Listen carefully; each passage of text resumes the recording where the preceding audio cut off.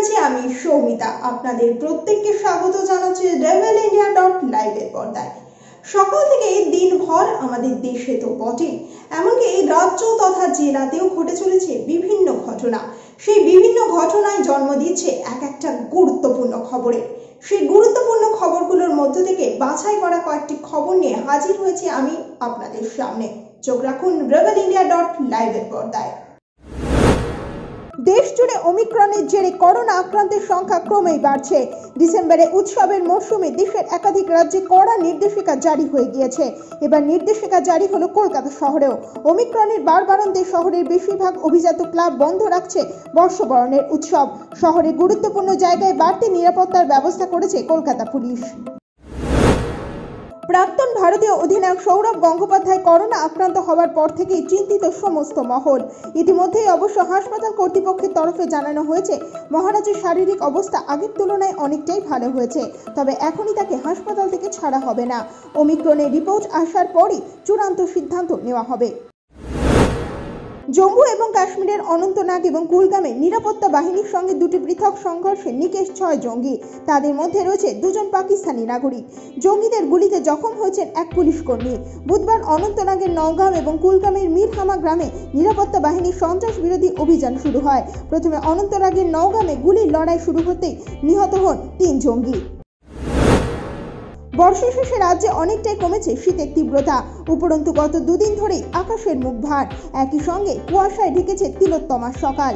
কুয়াশার পাশাপাশি কলকাতার কোথাও কোথাও বিক্ষিপ্ত বৃষ্টিও হয়েছে।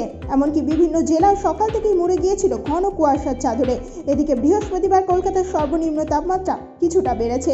আলিপুর আবহাওয়া দপ্তর সূত্রে জানা গিয়েছে, বেলা বাড়লেও আকাশ মেঘাচ্ছন্নই থাকবে। রাস্তাঘাটে মোবাইলের চার্জ ফুরিয়ে গেলে এবার আর কোনো চিন্তার কারণ নেই। এবার মোবাইল ফোনে চার্জ দেওয়ার ব্যবস্থা চালু করল মেট্রো রেল কর্তৃপক্ষ। কবি সুভাষ থেকে নোয়াপাড়া পর্যন্ত উত্তর দক্ষিণ মেট্রো চব্বিশটি স্টেশনেই থাকছে এই ব্যবস্থা। প্রাথমিক পর্বে প্রত্যেকটি স্টেশনে মোবাইল ফোনের দুটি করে পাওয়ার ব্যাংকিং রেন্টাল টাওয়ার বসেছে। নির্দিষ্ট টাওয়ারে একাধিক পাওয়ার ব্যাংক থাকছে বলে জানা গিয়েছে। রাজ্যে ক্রমশ ঊর্ধ্বমুখী দৈনিক করোনা সংক্রমণের সংখ্যা। বেশ কয়েক মাস পর রাজ্যে করোনা আক্রান্তের সংখ্যা হাজার ছাড়ালো। দৈনিক মৃত্যুর সংখ্যাও আগের তুলনায় অনেকটাই দ্বিগুণ। বর্ষবরণের আগে এইভাবে করোনা আক্রান্তের সংখ্যা বৃদ্ধি পাওয়ায় চিন্তিত চিকিৎসক মহল। বুধবার দুপুরেই রাজ্যে করোনা সংক্রমণ নিয়ে উদ্বেগ প্রকাশ করেছিলেন রাজ্যের মুখ্যমন্ত্রী মমতা বন্দ্যোপাধ্যায়। এবার তারই মধ্যে আরও বাড়ল দৈনিক সংক্রমণ। পুরো নির্বাচনের এখনও প্রায় মাস দুয়েক বাকি। তবে নির্বাচনকে মাথায় রেখে এখন থেকে সব কাজ গুছিয়ে রাখতে চাইছে তৃণমূল কংগ্রেস। দিন কয়েক আগে রামপুরহাটে দলীয় কর্মী সমর্থকদের সঙ্গে বৈঠকে বসেছিলেন বীরভূম জেলার তৃণমূল কংগ্রেসের সভাপতি অনুব্রত মণ্ডল।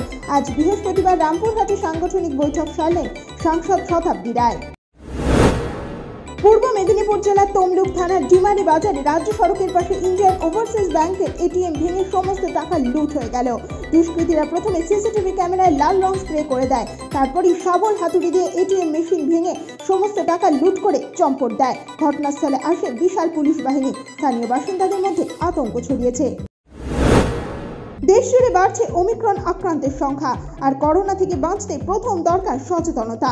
সকলকেই মাস্ক পরতে হবে, এমনটাই বার্তা দিচ্ছেন বৃহস্পতিবার মিশন হাসপাতালের বিশিষ্ট চিকিৎসক ডক্টর সত্যজিৎ বোস।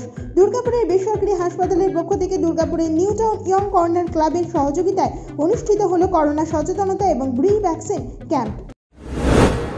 করোনার নতুন ভ্যারিয়েন্ট ওমিক্রনের দাপটে দিন দিন বিশ্বজুড়ে আতঙ্ক বাড়ছে। ভারত সহ বিভিন্ন দেশে বাড়ছে আক্রান্তের সংখ্যাও। এরই পরিপ্রেক্ষিতে স্থগিত করা হলো প্রধানমন্ত্রীর বিদেশ সফর। নতুন বছরের শুরুতেই সংযুক্ত আরব আমিরশাহিতে যাওয়ার কথা ছিল প্রধানমন্ত্রীর কিন্তু সেই সফর স্থগিত করা হয়েছে। প্রাথমিকভাবে জানা গিয়েছে, করোনার জন্য এই সফর বাতিল করা হয়েছে। Bureau report Revel India dot live রাজ্য থেকে দেশ, শাসক দল থেকে বিরোধী দল, খেলা থেকে শুরু করে বিনোদন, সবকিছু লেটেস্ট আপডেট পেতে আপনাকে অবশ্যই চোখ রাখতে হবে রেভেল ইন্ডিয়া ডট লাইভ এর ফেসবুক পেজ এবং ইউটিউব চ্যানেলে আবার দেখা হবে আগামীকাল। ততক্ষণ ভালো থাকুন, সুস্থ থাকুন আর চোখ রাখুন রেভেল ইন্ডিয়া ডট লাইভের পর্দায়।